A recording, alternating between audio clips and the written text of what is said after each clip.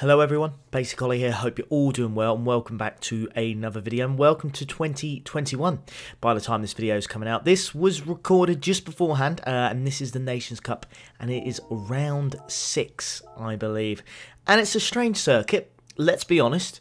Uh, when this popped up I wasn't really expecting it to be honest with you. It's um yeah, it doesn't really promote fantastic racing as such but we're going to do our best, but as I join the lobby, you can see my SR's taken a bit of a hit.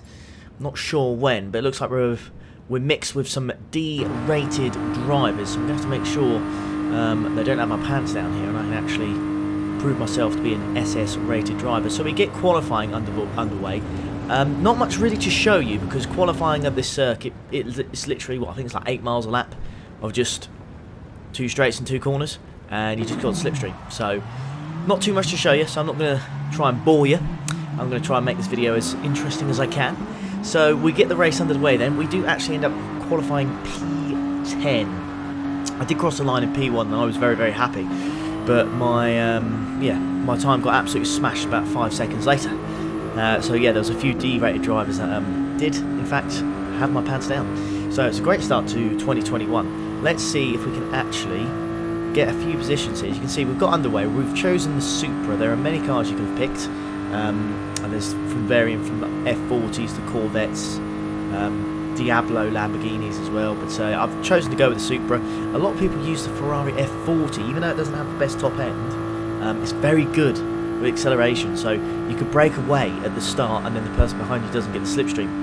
Um, so that was a tactic, but I found that tactic a bit too late by the time uh, I entered the race. So we're in the Supra, uh, going up this uphill section, which just seems to last for an eternity. But it is this race, I guess. It's just, well, it's just essentially one massive straight, isn't it, really? But um, yeah, I found the video is a lot more interesting if you fast forward it a lot. A lot. so I fast forwarded this, and the action is non-stop, as you can see. It's um, much better when you fast forward it. It is just way, way too slow. Um, and way too boring. I'm not going to put you guys through that just for the sake of content. So we're going to fast forward this to make this a little bit more enjoyable. As you can see, we're on lap two now, uh, and yes, we are going through it, and we're going to go across the line here. We go side by side, and I almost, almost just get uh, the win, but I lose out by 40, 14, was it 4400 I think? I can't quite read it, but uh, yeah, that's um, that's close. Um, I'll take a P2, but I decided to join a Daily Race B, and yep. some big boys in here, some big, big boys. So I decided to do Daily Race B between um, the actual Nations Nations Cup races, because uh, it's, um, it's an hour and 20 gap, even though the race is about 10-20 minutes, including qualifying. So I don't really get that. Um, I suppose you could say, oh, we, you know, do more than two laps, but you wouldn't want to do more than two laps around there, folks. It is, it's pants. It really is pants. But you know, I do make recordings on the Nations Cup and the Manufacturer Series, so I want to make sure I can show you guys and try and make it as entertaining as we possibly can. So we're starting P8. We've got some big names in here, guys. Big names. We've got two PR1 drivers. We've got Key here as well, and we've got Agu just in front of us. Um, I'm in the Hyundai Genesis. Uh, I have been saying this week that this thing is an absolute monster around this track. If you are struggling, not the best out and out pace, but it is certainly a good weapon to use. Now, the Brit here goes um, flying up the inside. Had to make sure I got out back there, otherwise um, that could have potentially ended badly. And I'm telling you right now, with all these big names in here, uh, we've got some GT Sport World Finalists in here with PR1 Fire and um, as well. So I'm very, very um, privileged, I suppose, is the is the word. But yes, this is Daily Race B, Red Bull Ring, five laps in Group 3 cars. Now, I've already, I know I've already done a video of this circuit and this car already, but there's some big names. You can see P7, um, he was P7, I should say. I think he was P2. P3 at the start of the race has um, ended up getting himself a penalty. So that's moved me back up to P8 now. So I may have lost the position um, to the Brit in front of us, but I've managed to gain one back. And so far, so good. Um, I haven't managed to drop off. I needed to make sure I stayed in the slipstream of the guys in front of me because that's where the weakness of this car is. As soon as I drop out the slipstream, I am going to struggle. But I go for the first corner there, the Niki Lauda curve, and yeah, nice and easy. Uh, no issues at all in the Hyundai. It's especially why I love it. It's so good um, going over the curbs. It's exactly what you want. And the brakes, look at the difference here. I could have, I almost went for a move. I could go up the inside because it's the only place I could go. But the difference in braking performance uh, between this car and the and the Vantage is quite significant. Now that might, you know, um, be because of the speed difference, but even still, I think at the same speed, this thing is um, quite the monster. So we're going to go through turn three now, second gear, kind of three quarter throttle, and then as soon as you can, uh, go to 100% throttle. You can see the Aston Martin losing the rear end uh, ever so slightly going through that corner, but we are nice and stable in our trusty Korean-powered Hyundai with the nice wang at the back, giving us extra downforce, which is exactly what we need. You can see the Aston Martin in front of us.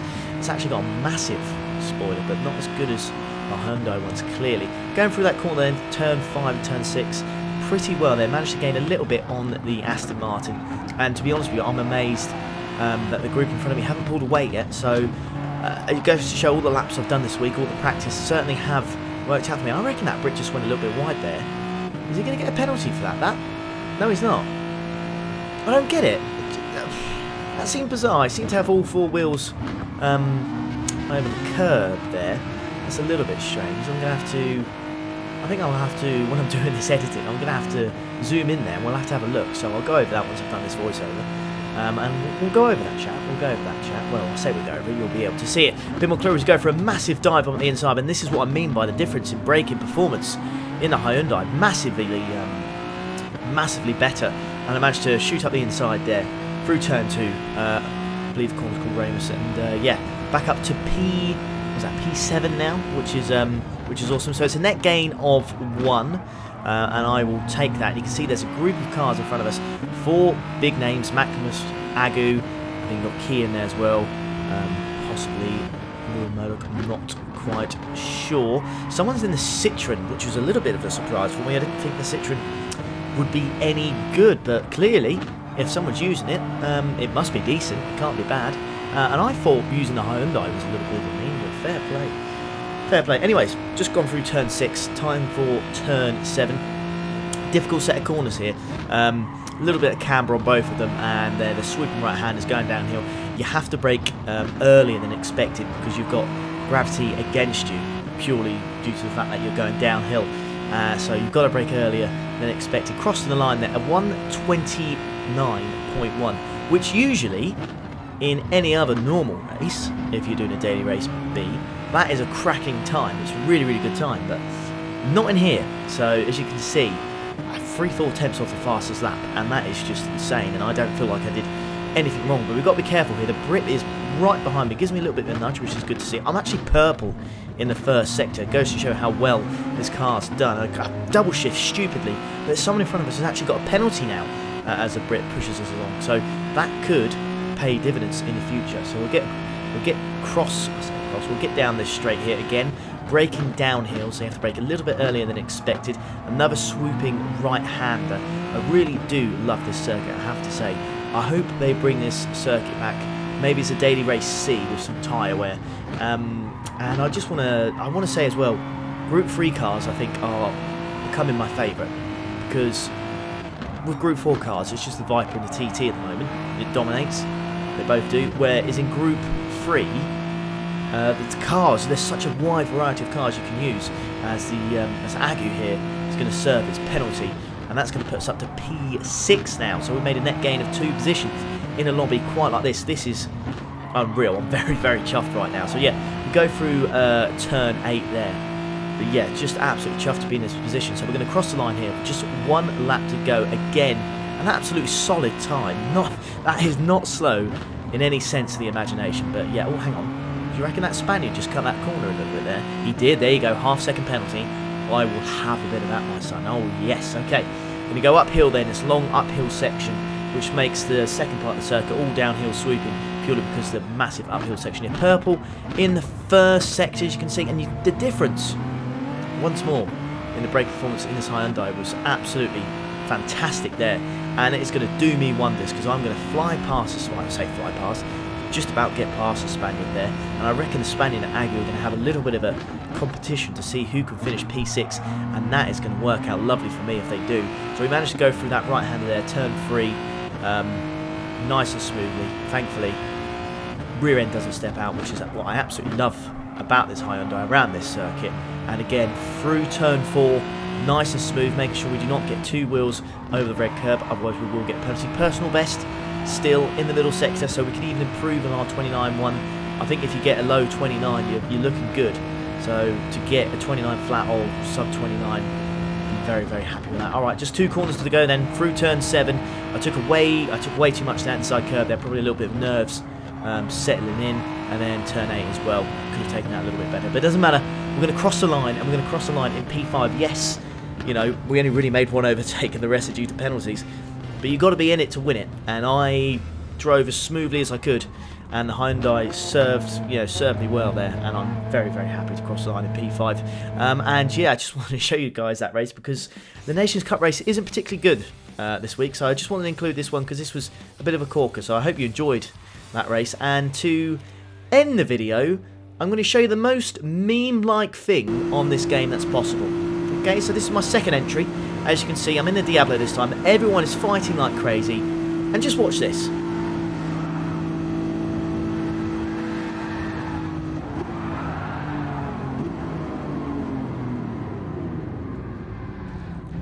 Yep. The most meme way to end a race, I think. And probably the best way to end this video.